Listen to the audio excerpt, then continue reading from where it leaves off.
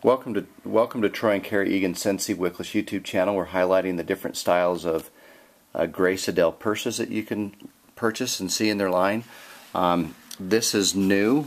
This is the Roxy, um, and this is a new design for 2014. Um, and this is a must-have style for 2014. And this has a patent faux leather molded into a form formidable satchel finished with a secure zipper closure um, and silver toned feet so it never touches the floor. This coveted, coveted bag also includes a fully adjustable chain and patent faux leather strap that transform into a crossbody. And this Roxy bag is $120, um, but this is a very, very stylish bag. Um, it has the trendiest shape of the season. They've really gone into a lot of different styling and you can see on the bottom here you have studs on the bottom here as far as the bottom of the purse. So it's really really an elegant looking bag.